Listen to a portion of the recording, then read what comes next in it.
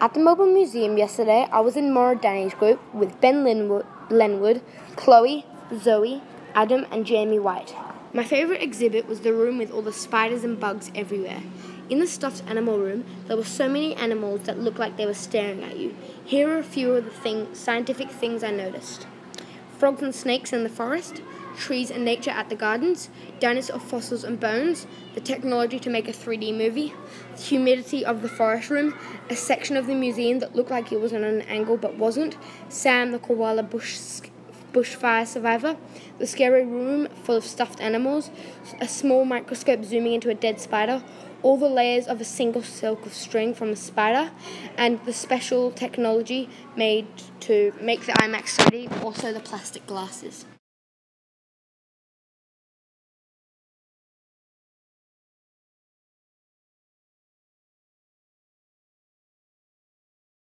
I used a cam- I used a magnifying camera scope to take a picture of a really small spider. It was climbing up the wall, so I had to take the picture quickly. The next area we went to was one of the was the insect one, but I when I asked one of the staff members, they couldn't identify which type of species the spider was.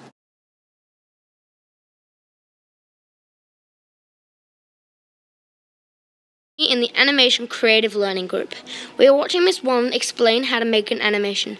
Miss Wallen showed us an app which can make really cool animations. It's called iMotion.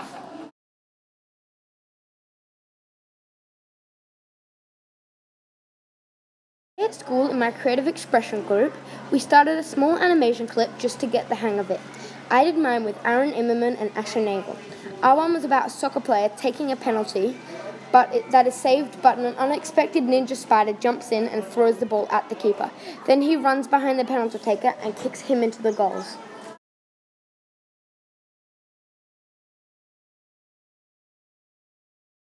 This is me adjusting the iPad to video the animation setting.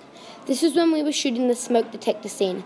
The transdisciplinary themes I used were application, cooperating with my group, and organization.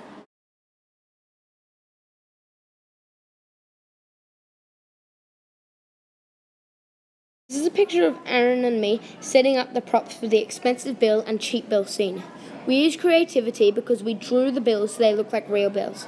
Some other transdisciplinary skills I used were presenting and non-verbal communication.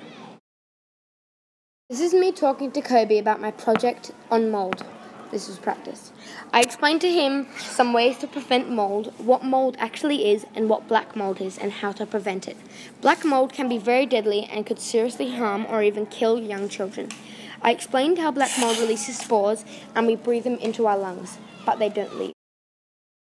I'm sorry it was very short. My photo journal deleted, so I had to redo it all.